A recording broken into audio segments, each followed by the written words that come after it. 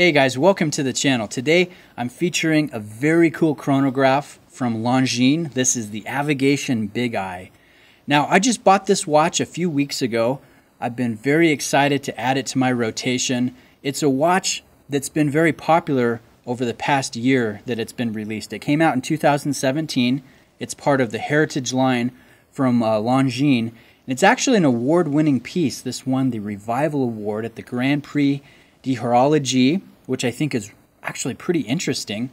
And the watch that this is based off of is a little bit of a mystery. So let me give you some backstory here. A collector came to Longines and they brought this watch, and uh, Longines looked at it, they authenticated it, they said this is definitely from uh, from our brand, but we're not exactly sure which era it was produced in. However, Longines uh, liked it so much that they re-released it under the uh, under the Heritage line, and this is the watch that we have. So it's got some really cool vintage design elements here. Obviously, the large register at the three o'clock uh, sub dial there is where the nickname comes, the Big Eye. This is an enlarged uh, 30 minute register with large hashes uh, indicating every three minutes. So very, very cool. And I think plays well with the other smaller registers here there's a good mix of different elements. If you look at the running seconds on the left, you can see a nice uh, needle nose hand. There's some guilloche concentric circle texturing at play on the registers.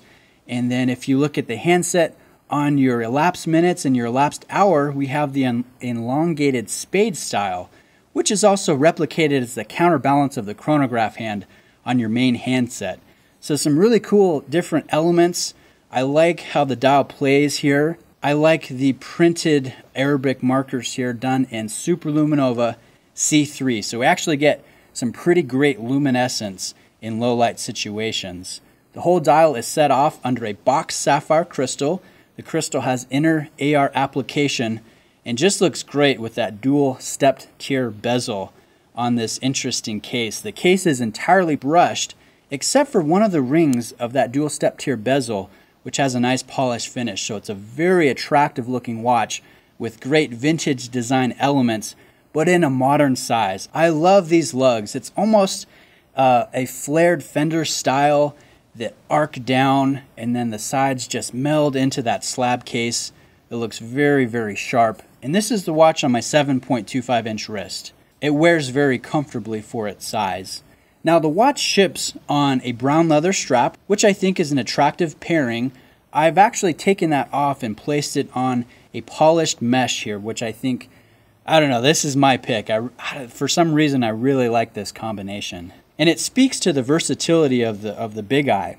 It's kind of a strap monster. It looks good on a number of different options. So uh, let's talk about the movement. Longines is using an exclusive caliber made by ETA it's based off of the uh, A08.L01, uh, which is based off of a, of a Valjoux 7750.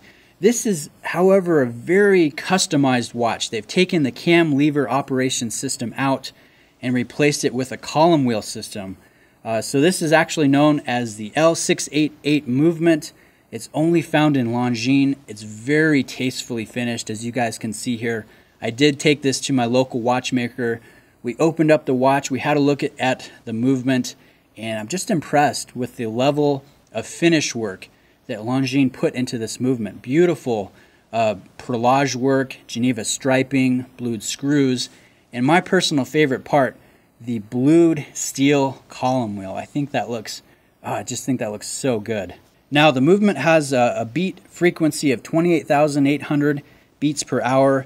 There's a 54 hour power reserve, 27 joules, and this example is running at about plus 4 or plus 5 seconds per day. So just on the outside realm of what's acceptable to be classified as a chronometer. Now, as you guys can tell, I really, really like this watch. I think Longines did a fantastic job with this release. My one criticism or critique would be you can't see this exclusive movement uh, through this uh, steel case back. I'd love to see them do an exhibition style caseback to really show off their signature movement because it is not found in any of the other uh, Swatch brands. And as you can see, it just it's a very attractive automatic chronograph movement. Now, one thing that's a little interesting is uh, Longines is known for their winged hourglass logo. It's the oldest registered trademark logo from any watch brand, and it's actually not found on the dial, as you can see here. Uh, there is kind of a version of it on the signed crown, but it, it is kind of squashed. You know, it's it's shortened to fit on there. It doesn't quite look as good. The only place that it's kind of found is in form uh, cut out in the rotor in uh, in the movement. So I think that's actually kind of an interesting point. Now, uh, this watch retails for $2,625, which I think is a great price for the level of watch that you're getting here. Uh, I really can't fault the watch, other than I'd prefer a Sapphire Exhibition case back. Uh, these regularly go for about $2,000 on the secondary market. I think they're well worth the money. And one interesting thing to note is it comes in a massive presentation box that's made out of wood, and there's even a little plaque with the name of the watch, the Longines Avigation Big Eye. I actually think that's pretty cool. So, anyways, guys, I appreciate you taking the time to watch. Please reach out with any questions that you may have, and I'll see you guys in the next video. Cheers.